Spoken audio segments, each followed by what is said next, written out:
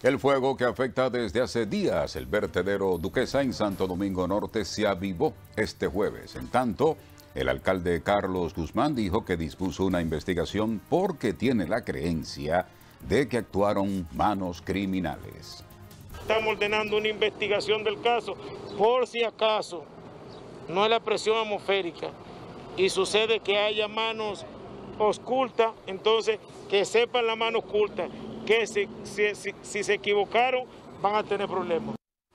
El incendio en el vertedero de Duquesa podría agudizar la incidencia de infecciones respiratorias debido a la humareda que desde hace dos días se mantiene sobre gran parte de Santo Domingo, reconoció hoy el ministro de Salud Pública, Rafael Sánchez Cárdenas.